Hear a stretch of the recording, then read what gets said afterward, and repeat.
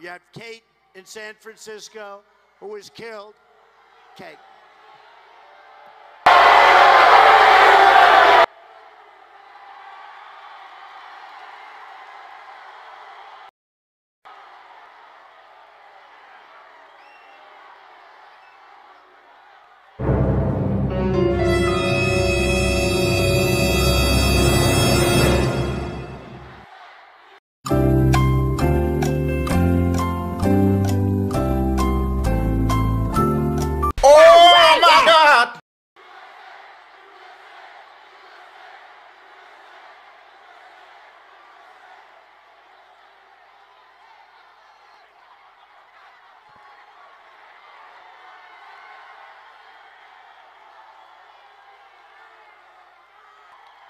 You see, in the good old days, law enforcement acted a lot quicker than this.